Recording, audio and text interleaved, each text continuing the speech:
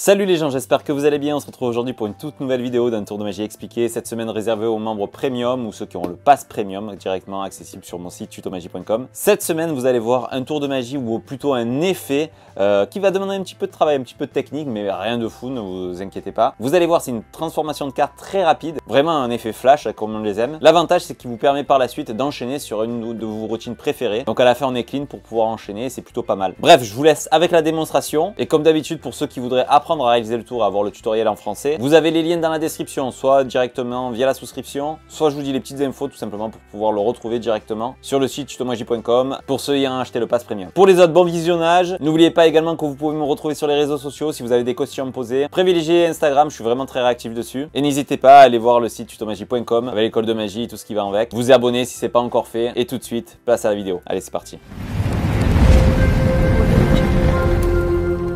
C'est parti pour la démo avec un jeu de cartes. Alors d'habitude on fait choisir une carte à un spectateur et ensuite on va la retrouver. Ici c'est différent. C'est le genre de tour, le genre d'effet euh, qu'on fait avec quatre cartes qu'on peut préparer euh, par exemple sur le dessus.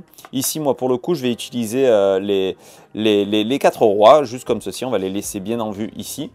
Et là, pour le coup, parfois, les spectateurs nous disent mais pourquoi tu utilises les rois, etc. Eh bien, on peut dire, si on veut, en claquant des doigts, en changeant les cartes, instantanément, on peut se retrouver avec les quatre as. C'est plutôt joli, ça permet par la suite justement, moi je trouve, de pouvoir euh, enchaîner avec euh, les quatre races et faire le, tour de notre choix, comme les Twisting the Ace, etc. C'est plutôt cool, les cartes sont examinables et c'est plutôt rapide, flash et visuel comme on aime.